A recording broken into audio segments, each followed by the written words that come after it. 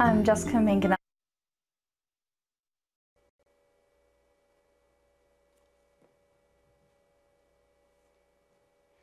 Hi, good evening. Uh, uh, me again, Sarah Chiu. I'm talking about the language core of human speech and um, I reject the idea of a family tree and I believe that we all share a common core in terms of uh, language. And I'm going to present an Eastern view uh, as a traveler and here it is.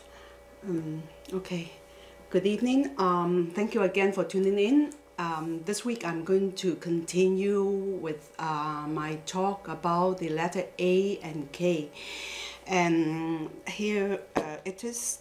Then um, I will start with my. Uh, I will start with my slideshow. Okay, one second. Give me one second.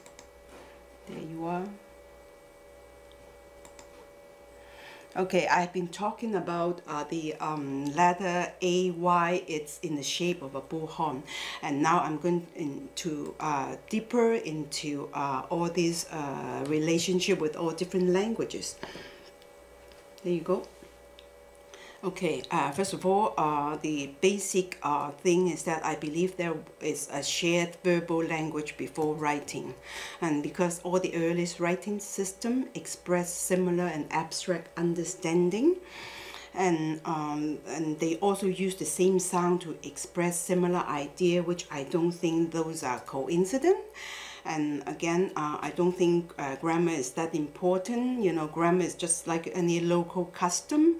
And now I think the linguist uh, pays too much attention on grammar without looking at the core of all languages.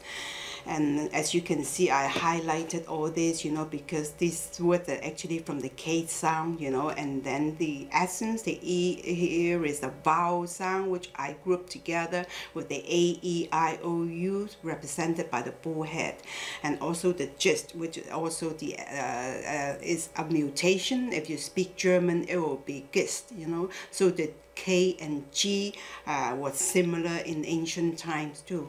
So I will show you right here what I mean by the basic, the key and the core of the languages because this is Sumerian, uh, really meaning either the reed itself, you know, uh, grass, wild grass, and also it means the essence. And this is the uh, growth tip of a plant also in Chinese. And this is a Babylonian uh, symbol. And this is a Chinese writing. You see how similar they are. And with this bull head right there indicating some kind of a conscience and uh, the key of living, you know, a soul being. And this is also in Sumerian, the uh, word representing life and living itself. And then this is Chinese, and this is uh, back to Sumerian, and this is uh, hieroglyph, Egyptian hieroglyph, the ka, uh, meaning part of the soul, and of course this is Phoenician Greek and turned into what you know as K, and another uh, mutation will turn into a K itself. Now, um, I uh, want to show you, you know, the basic idea of the uh, vowel K and uh, the consonant K and the G sound uh, actually has a lot to do with uh, leadership and also the initiation. As you know, the A is the beginning of the Western writing uh, circle, and then the the ka and the ga is uh, the beginning of the Eastern writing system if they are using a syllable system.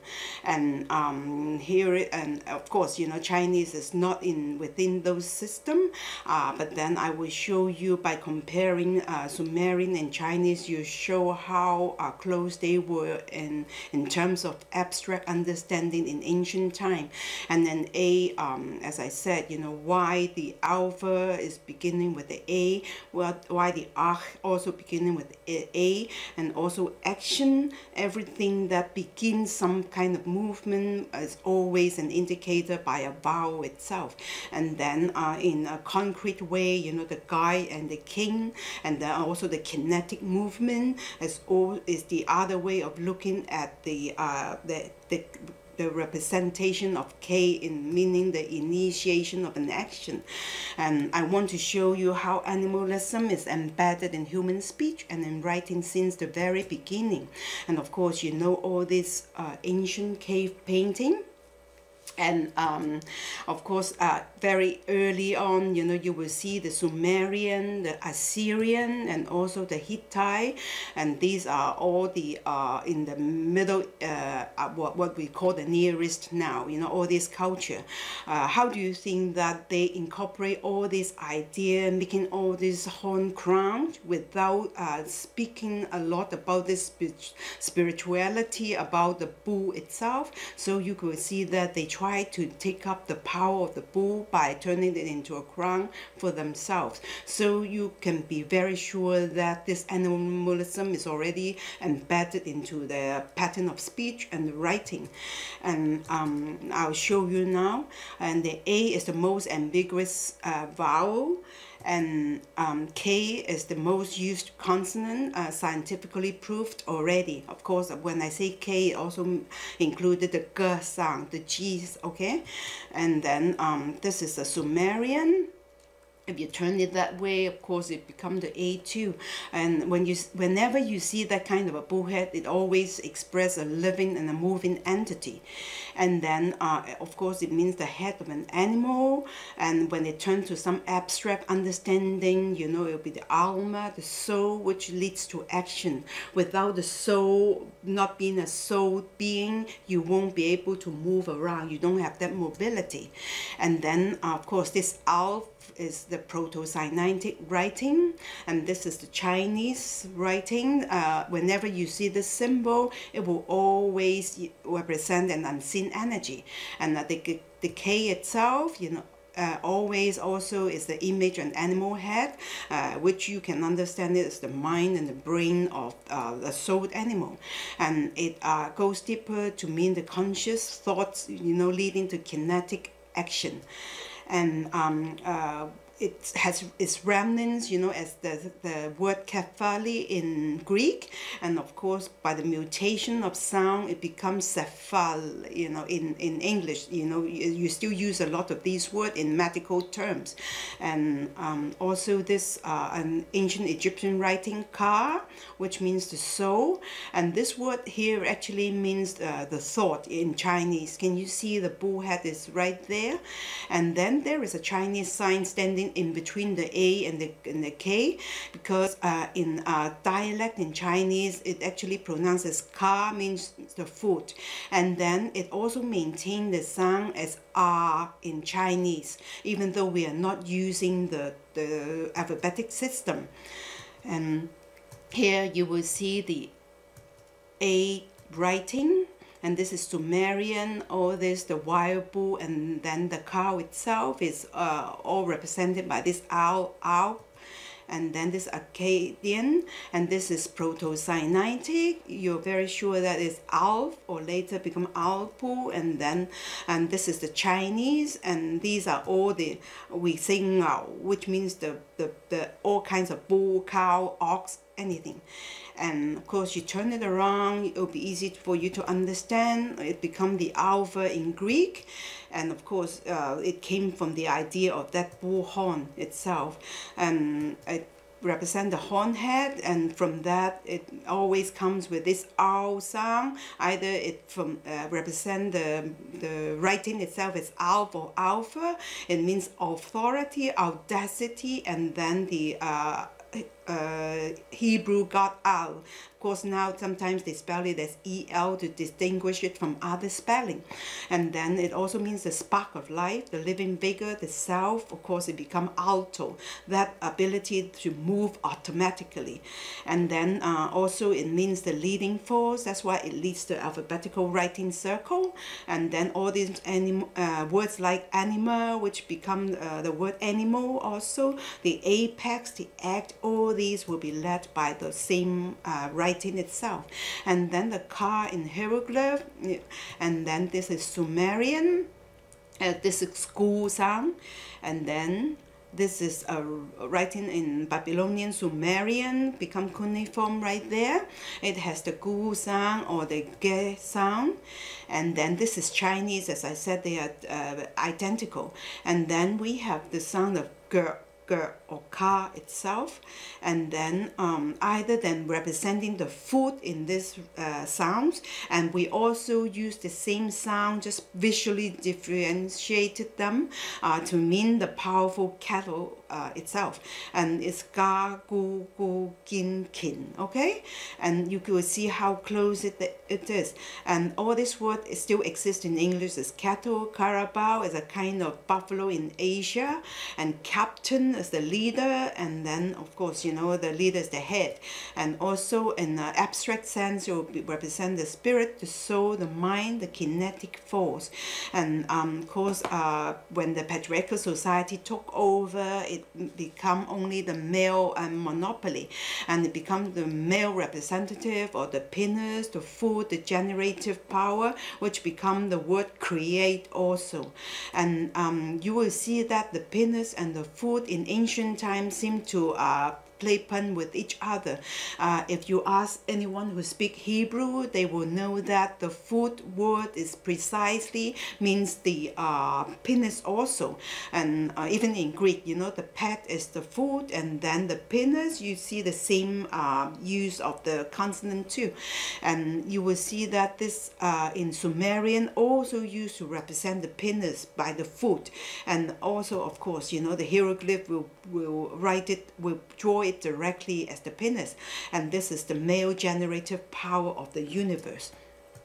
And um, now uh, in this slide, I will show you all this writing from ancient time from east to west and about this K and uh, A sound. And uh, from the early pictograph, this is Sumerian cuneiform, holds the sound of Gu, uh, the G or the K, and the A sound. And this is uh, hieroglyph, the ka sound. This is Proto-Sinaitic, goes the other way as the A sound. And this is Chinese. We have different symbols, but we have the sang ngao, okay? And um, actually means cattle. And, um, and we have the word gu, it actually means a powerful uh, uh, cattle also. And this become the determinative what we Chinese call determinative. Whenever you see that mark it either mean, means a living being or an animal itself. And this is gar and gin and uh, gin and kin. And this all mean cattle and why do we need so many different words to mean cattle by itself you know because it's all handed down from very very ancient time different mutation we still uh, maintained. And uh, look at this word um, other than the determinative there is a word right there. If I turn it that way you um, uh, it actually has a sound gu in Cantonese. Again I'm using Cantonese as the base of this research which is a very ancient Chinese dialect. And um, this is Sumerian um, uh, gu. This is also uh, another symbol representing the gold, you know. Can you hear the sound, the gold and the gu and the gu? And this is some Sumerian sign I want you to see. They are kind of related to the gold family. And then this there is a Chinese word gu actually it means a black ram also the the, the gold and, and and the cat uh, also the gold family. And then we have this garb which means first and chief. And in Sumerian this symbol itself also means the first and the chief. And uh, this is Sumerian. You see the east and the west we throw symbol backward and forward backward and forward. The sound actually maintained and hidden uh, very subtly. And then uh, this is Phoenician A of course alpha. And then the Greek and it goes on like this and then uh, sometimes you see when the Greek write artistically, it actually goes back like the earliest pictograph of the uh, of the Sumerian writing. And um, I will see show you the K.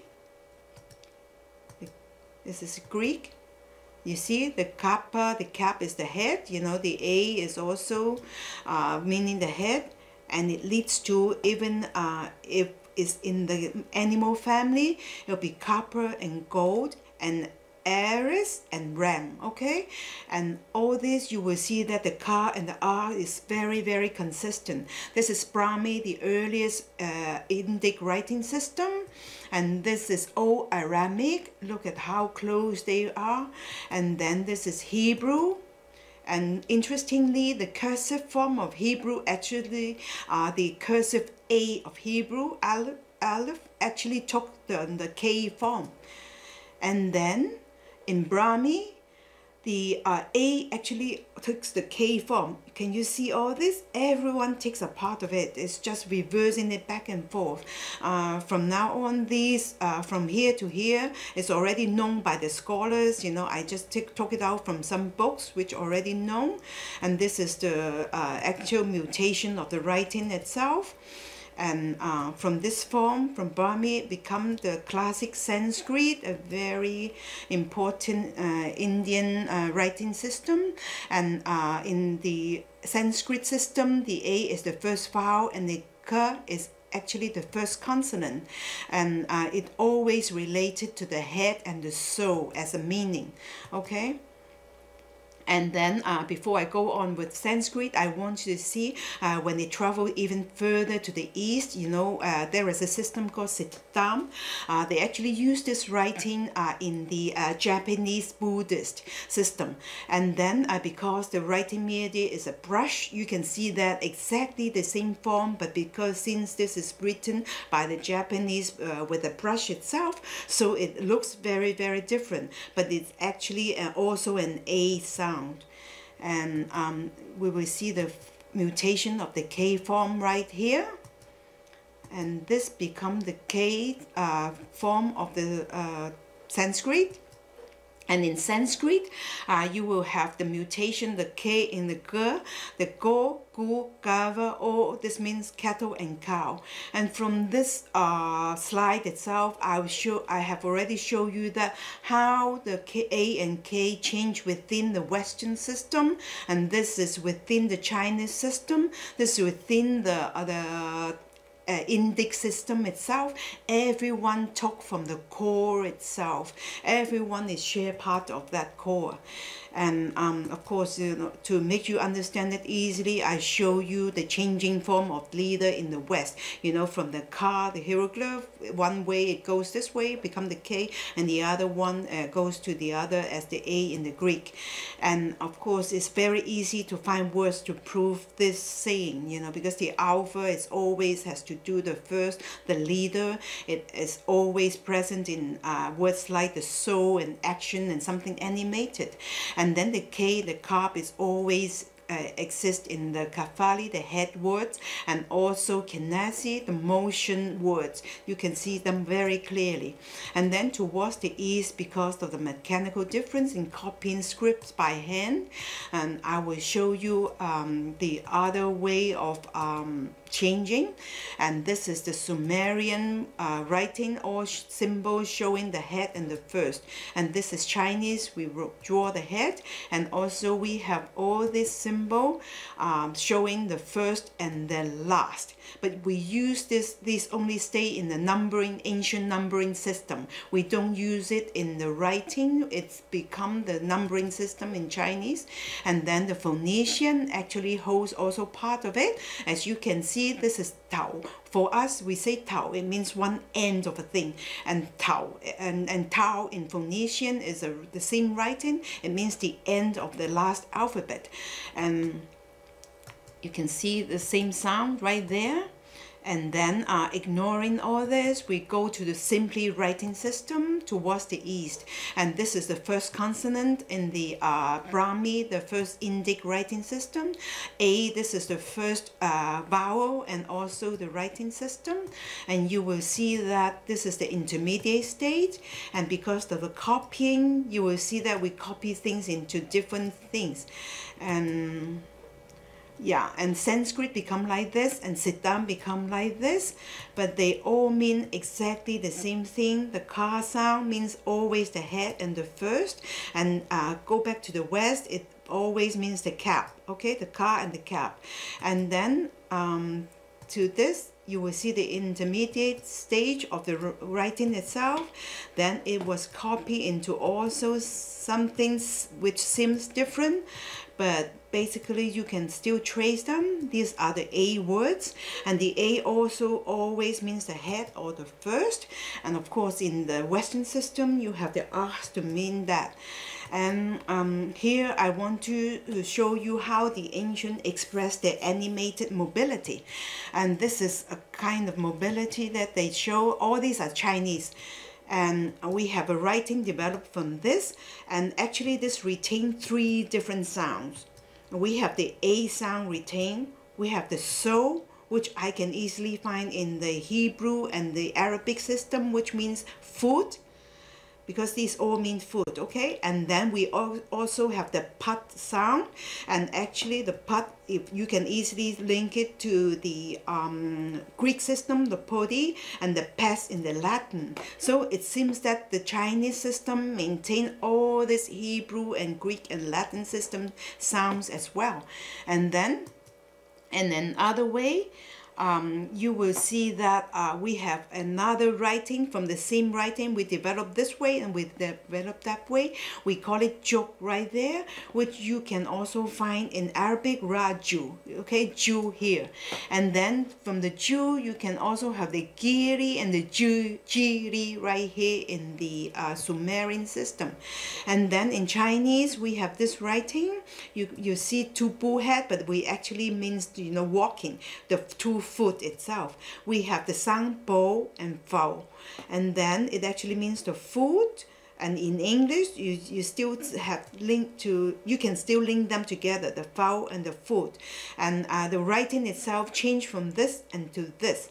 And then we also mutate into ger and ka, and which means the calf and the curb and the ging all this is related to, to food in the Eastern in the Chinese system, and then I can still find the gin and gup and also in Sumerian, and of course you know in the Greek system you can find the scalos, which means the food, and then you have the uh, Sanskrit gam which related to food. You see the ga right there, the gamba in Greek which means the calf.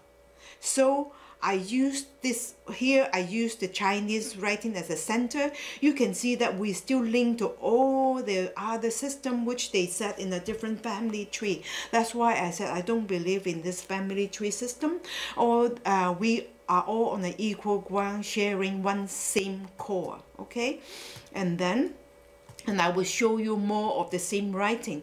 This is the Sumerian uh, writing uh, showing the g and the j sound and this actually means the base, anything made of wood and this is actually Chinese of course you know is, is k or k. This actually means the, the, the foot of a furniture or sometimes it just means the foot and this is Sanskrit, the ga and this is also closely related where your base is. Sometimes it can mean a village, the house and this is exactly where you sit. You can see the, the, the stool right there easily. And of course the Greek uh, adopted the P sound a pi sound but um, as I said they retain the scalo the foot the K sound right there.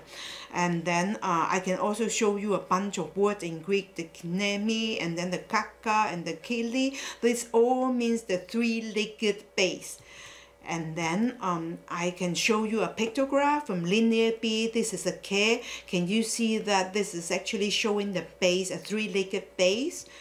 And then uh, from the Sanskrit, you can actually easily link it to Tibetan car. This is a car in Tibetan. Uh, whenever you see this car, this actually means the foot itself or the root or the base itself. So the abstract meaning is still right there.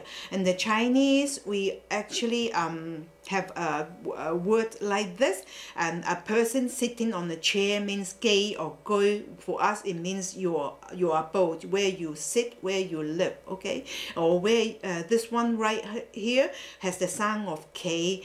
K in Chinese actually in Cantonese actually means to stand right there. Can you see that the person standing right on this uh this car sound right there? And then um, this is the Sumerian writing. They also have a tiny little thing right there showing that that kind of little energy exactly like it here. And of course in hieroglyph you can easily find the energy as the car sound. Okay, I want to show you the quickly the human history of migration. Um, okay, because time is running out, so I want to show you. This is the A and R sound in Chinese. This is uh, the car girl in Chinese, and this is hieroglyph car. This is Sumerian gu, and you have the car word say in English, and we have the pet sound Actually, in Chinese, this all mean the food. Even though you see the bull head, it all means the food. And then this is hieroglyph, sharing the same sound. Pet, pet, okay, pet. But this is the foot of uh, the foot of furniture, and this is the base in English, and of course the foot and this is even Mayan has something very strangely related. The B and the P is the footprint, very similar to this. And then the Greek carry the P, pi sound.